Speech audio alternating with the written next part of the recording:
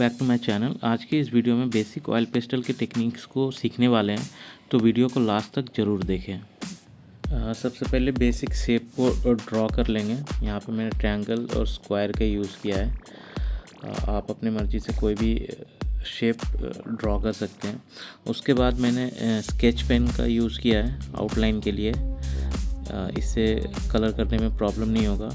यहाँ पे मैंने कैमल के 50 शेड्स का मैंने यूज़ किया है।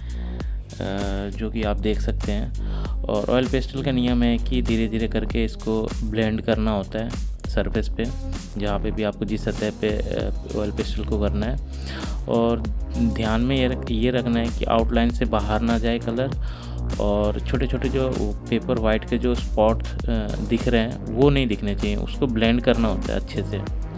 ठीक है? कलर का जो सिलेक्शन है ऑब्जेक्ट के अकॉर्डिंग आपको लेना है कि कहाँ पे कौन सा कलर हमें करना है। लाइक कलर के शेड्स अपने आप ही आपको सोचना है कि कहाँ पे कौन सा शेड्स हमें देखिए यहाँ पे मैंने फिंगर से मैंने इसको ब्लेंड किया है। देखिए कितने अच्छे तरीके से ब्लेंड हो गया है।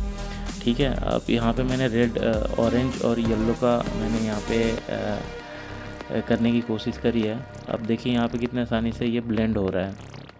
ठीक है अब इसी के ऊपर हम करेंगे ब्लेंड देखिए रेड और ऑरेंज कितने अच्छे से ब्लेंड हो गया है। यहाँ पे मैंने आ, ना कॉटन का यूज़ किया है आ, बिना कॉटन का है ये सिर्फ़ कलर से मैंने इसको ब्लेंड किया है। ठीक है अब इसको हम अगर कॉटन से अगर इसको ब्लेंड करेंगे तो देखिए ये क्या होगा।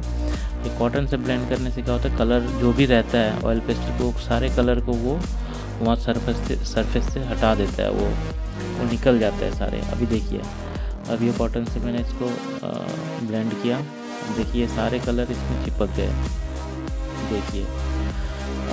अब हम अगर रेंडमली अगर कलर मिक्सिंग करते हैं तो इस तरह से हम कलर का चला सकते हैं कलर को। देखिए, ऐसे कलर के टोन हमें इस तरह से कुछ मिलता है। देखिए, और यहाँ पे वाइट जो स्पॉट है, वो भी नहीं दिख रहा है। वो हमें नहीं दिखना चाहिए। यहाँ पे भी मैंने फिंगर से ब्लेंड करके अगर आपको आ, कोई टेक्सचर वगैरह देना है तो वो टेक्सचर वगैरह भी आप देख सकते दे सकते हैं। यहाँ पे देखिए मैंने एक ट्री ड्रॉ करा है। अब ट्री को अच्छे से कलर करेंगे। इसके लिए ग्रीन के जितने शेड्स हैं वो शेड्स आप यूज़ कर सकते हो। लाइक ब्लू हो गया डार्क ग्रीन हो गया लाइट ग्रीन हो गया येलो हो गया। जितने भी डार्क टू लाइट के ऑर्डर में कलर को आप रख सकते हैं, उस हिसाब से आप इसको कर सकते हैं। इसी तरह अगर इसके स्टैम्प में हम देखें तो स्टैम्प में भी ब्राउन और मस्टर्ड येलो का यूज़ किया है मैंने। तो इसी तरह आप भी कलर का सिलेक्शन आप कर सकते हैं। यहाँ पे जैसे ग्रास में light green dark green yellow का यूज़ किया है। अगर छोटे ग्रास में देखें तो यहाँ पे मैंने दो ही कलर का यूज़ किया है।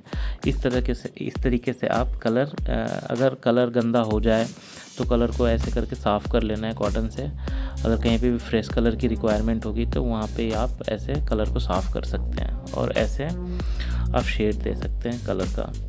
अगर इसी तरह अगर एक टेक्सचर को टेक्सचर के साथ अगर आप किसी भी ऑब्जेक्ट को ड्रॉ करेंगे तो उसका इफ़ेक्ट भी कुछ ऐसा ही आएगा। यहाँ पे देखिए मैंने एक स्टोन को ड्रॉ करने की कोशिश करी है। और देखिए यहाँ पे किस तरीके से वॉल्यूम वॉल्यूम को दिखाया है, कलर को कैसे ब्लेंड करना है, एक कलर के साथ दूसरे कलर को कैसे ब्लेंड करना है, देखिए। आसानी से आपको समझ में आ जाएगा। ऑयल पेस्टल बहुत आसान मीडियम है, इसको आप आराम से कर सकते हैं, कोई प्रॉब्लम नहीं है। वीडियो अच्छी लगे तो वीडियो को लाइक, शेयर और कमेंट करना ना भूलें। तो फिर मिलते हैं नेक्स्ट वीडियो में, एक नए ट्यूटोरियल के साथ।